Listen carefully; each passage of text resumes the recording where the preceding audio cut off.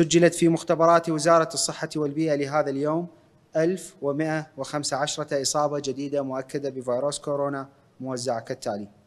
في بغداد الرصافة 232 وفي بغداد الكرخ 193 وفي بغداد مدينة الطب 110 إصابات وفي النجف الأشرف 50 إصابة وفي البصرة 55 وفي السليمانية 85 وفي أربيل 15 إصابة وفي دهوك إصابتان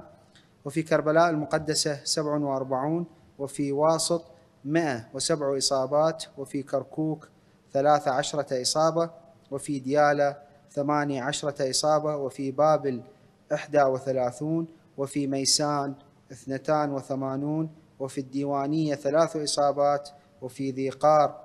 38 وفي المثنى 13 إصابة وفي صلاح الدين 17 إصابة وفي نينوى أربع إصابات.